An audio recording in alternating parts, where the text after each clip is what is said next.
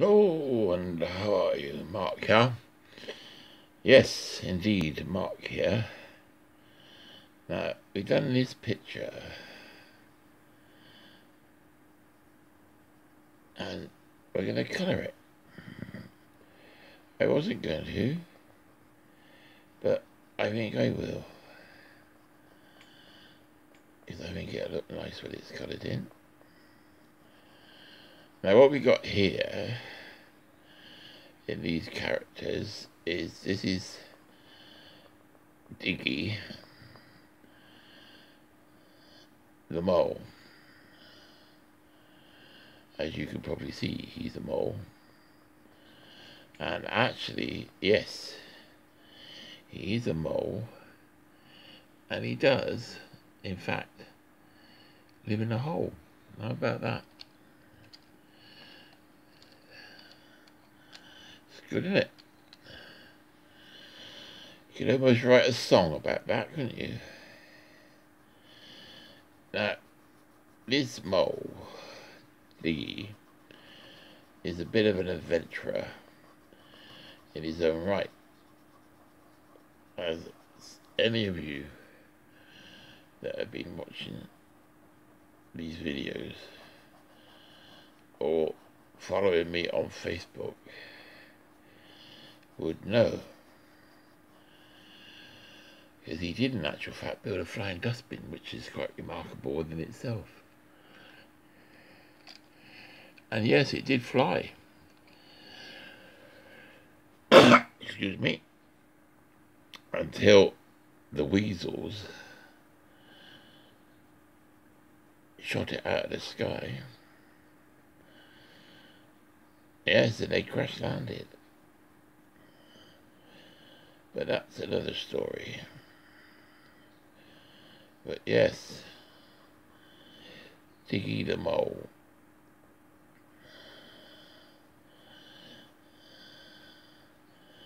Not a terribly original nickname,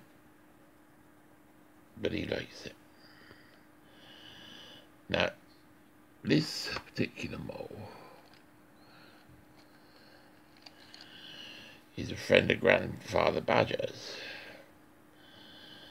who is also here. He's a chap that looks a bit like a badger, because he is a badger, wearing a nice bow tie.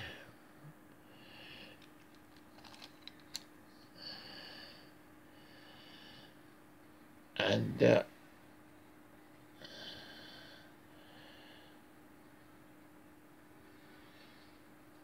his favourite pale blue jumper.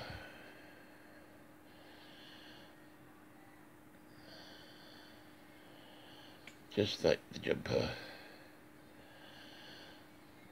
my granddad used to wear. Yes, that is where I got the idea from.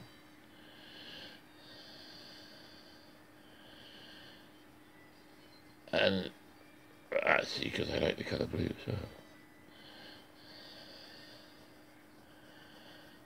And this is a delicious blue. Nice and bright, which is what you want, isn't it? Nice and bright. We like bright colours. These are the trusty watercolour pencils that I use a lot. And if you're using them on a good quality watercolour paper, you do in actual fact get a nice grainy effect which is quite pleasing. And we like that a lot. We do indeed, we like that a lot. We like that a lot see if we can make these you bow tie a bit brighter.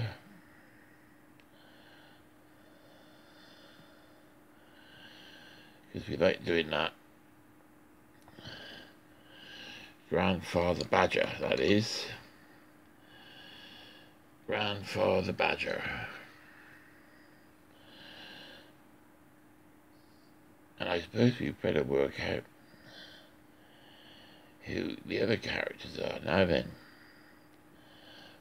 I, as I've said before, tend to make these drawings up as I go along. But apart from Grandfather Badger and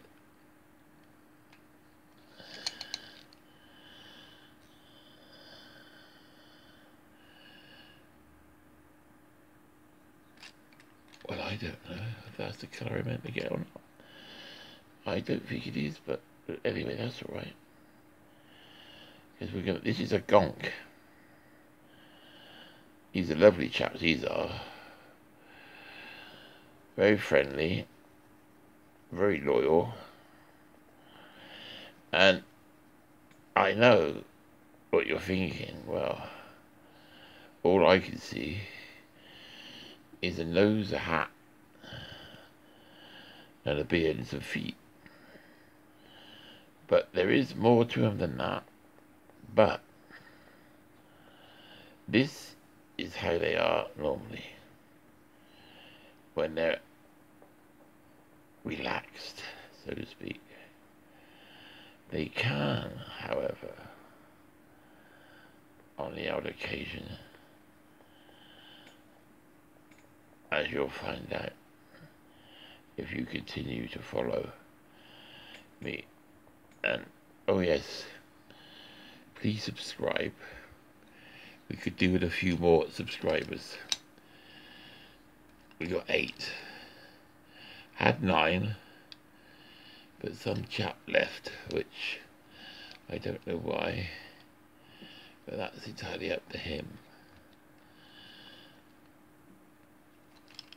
Now, I don't, he wanted to be friends on YouTube, and I don't know how to do that. I don't know if he meant subscribe to his page. Perhaps somebody could tell me what that means, I don't know. Because I'm new here. Yes, yes, I've only been here a couple of weeks. Nice though, I enjoy it. Good fun watching everybody else's videos as well. Good, clean fun. Making these videos. Oh, well, I enjoy it anyway. I hope you can see that. I think you can. I think it's pretty well said because this is a bit of a. I know. I should be telling you all my secrets, should I? But this is a bit of a. Not, I wouldn't say amateurish necessarily. But then again, I probably would. Because I am videoing this on my old smartphone. And I don't even know if it's a smartphone. I don't actually suspect it is. Anyway, it's an old phone and it's got a couple of elastic bands around it holding it onto a tablet bracket. I know. There you are, and then you thought this was all part of some huge studio with cameras and lights and all that, all the trimmings, so to speak. Well, it's not. Just little old me and some gonks and some witches and some goblins, some trolls, and they all live in my head. They do. They live in my head. And some people might say that's the best place for them. But we don't think so. We like to share. It's a bit of fun, isn't it? Something for you to watch and laugh at. Yes, you could laugh at me if you want. I don't mind. There you are. Molly's got a little pink nose. Well, I think moles have actually. If you look at them, I can't say I've spent a great deal of time in the mole studying world, but you never know. I might get the touch to do a bit more one day. Yes, I like moles.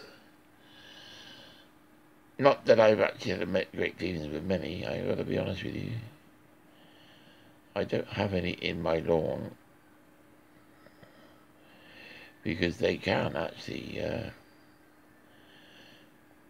be a bit of a problem if you get them in your lawn because they dig tunnels. They certainly do dig tunnels. And that isn't always a good idea. And you want to keep a nice lawn.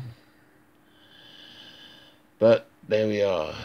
Now these gonks tend to have the same colour shoes as their hoods, but this one slightly different because I'm using a slightly different green.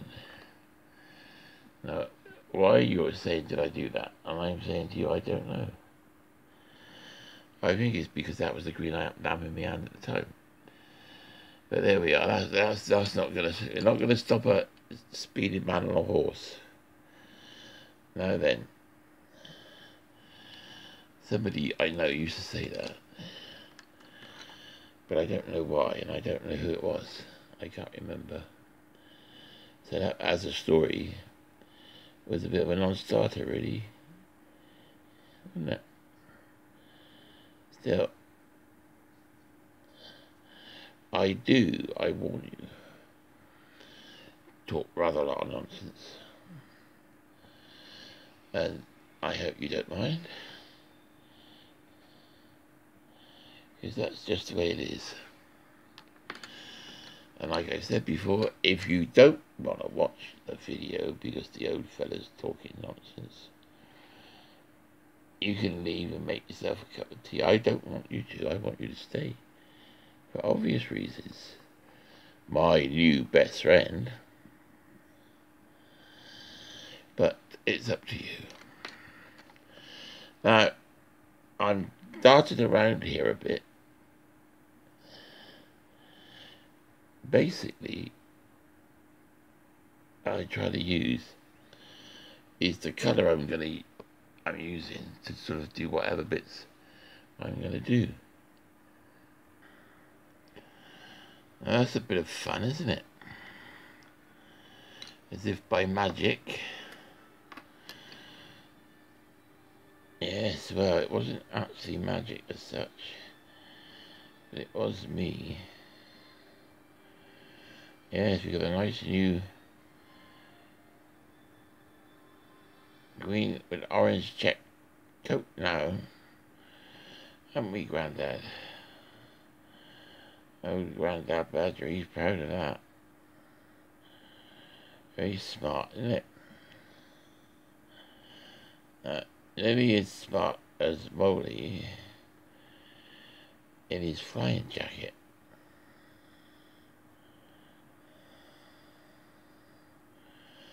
He likes his flying jacket as well.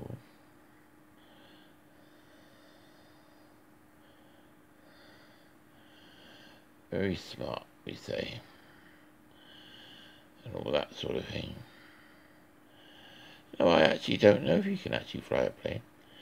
He can fly, because I've seen him fly a dustbin.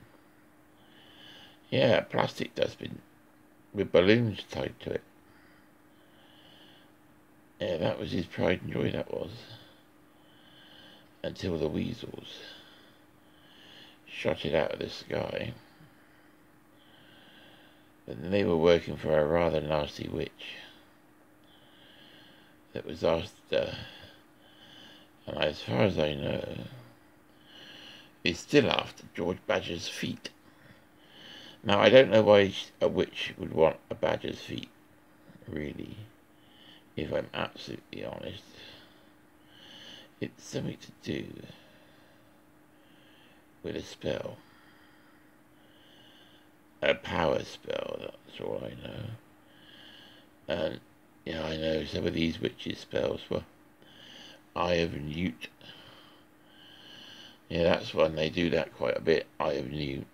Poor old newts. Poor old newts, in it. That's what they tell me.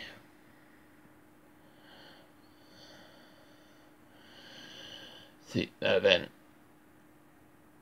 I'm not sure who this fella is with just a beard and a hat and just legs and arm. I can't see he's got no body. I don't know if that's a song, is it? I got no body. I don't know, it sounds like it should be. Yeah, he's a quite handsome fella. Not that you can see his face or anything, but there's more than one way to be handsome in this world. And beauty is in the eye of the beholder.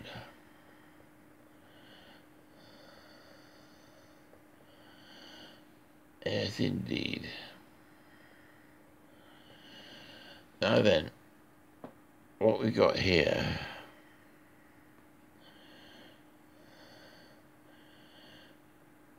is a witch. And I think, I'm not sure, I'm pretty sure that this is a, what they call a Grendel witch. Now, I don't know what that is. It's just something they call these particular kinds of witches. Now, they live in forests. Mostly, they don't like the open spaces. They like the trees. They can live in trees. Quite often, they live in hollowed out dead trees. And what they do, they usually cover them in ivy. Now I know what you're saying, what's ivy got to do with it? But that is neither funny nor clever.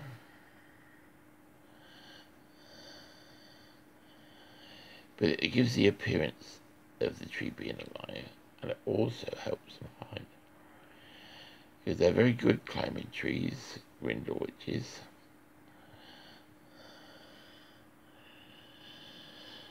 I think this one's called Phyllis, I'm not sure. I, I might be wrong there. I mean, I could well be wrong. It doesn't really sound much of a witchy name to me. Or does it? I don't know. Perhaps it does.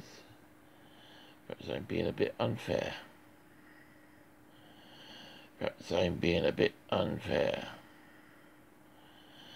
Now then, you see, this is starting to take shape. Now, it's not nice when it's got a bit of colour in it. I think, anyway. You may not think that, that's up to you. It's what they call a free world. Is it? I don't know.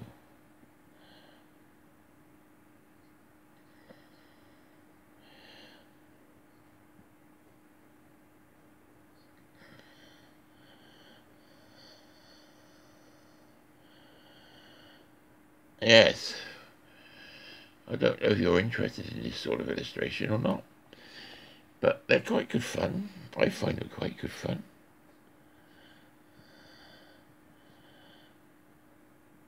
While away the time, you have something nice at the end of it. That's half of it, isn't it?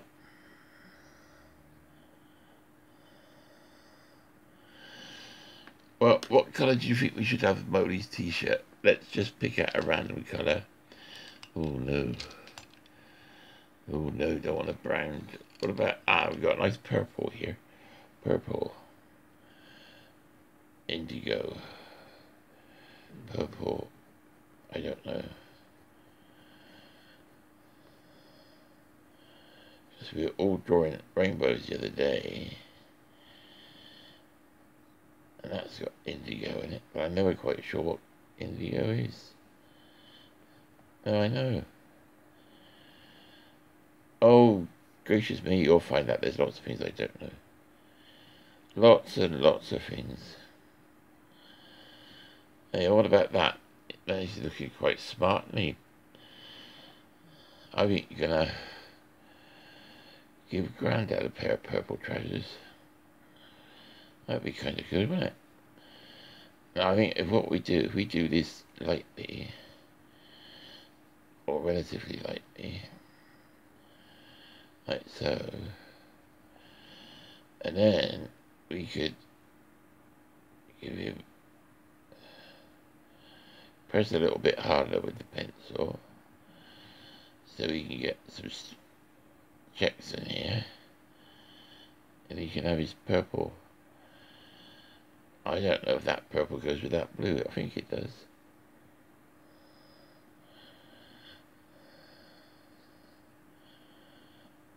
and then we do that how about that Yes, that looks quite good, I think. Coming on a bit. Right then. Here we be again. Now, I don't know about this uh, oh, badger's coat here. I really don't. I don't know. I'm going to put some brown on it. Darken it down a bit.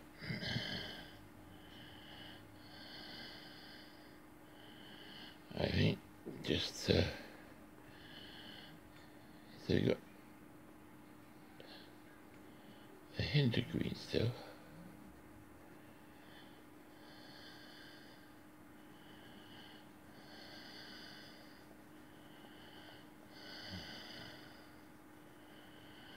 Like so.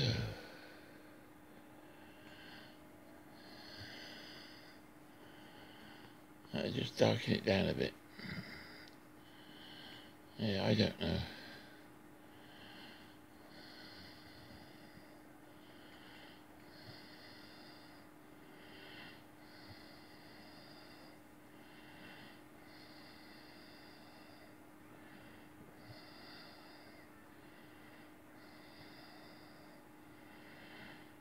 No, I don't know at all.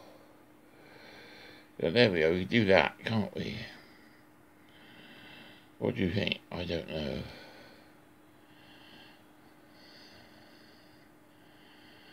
Now then, we've toned that down a bit, I think. I don't know if we have or not. What we're going to do, I think, and I can't really see, I think we're to make some of these lines a bit darker with these. But and give it a bit of maybe depth to it. I think that might help the situation. Now then because it doesn't seem to be working quite as we had it I don't think Now, I think the way you do these sorts of things, like sleeves and lapels, and to get those right, you just have to look at pictures. I wanted, I remember the other day I was doing a group of weasels sat around a table playing cards. So I went on Google good old Google. I googled men playing cards and several pictures came up of men playing cards and I used those pictures to get how the chaps were sat if you know what I mean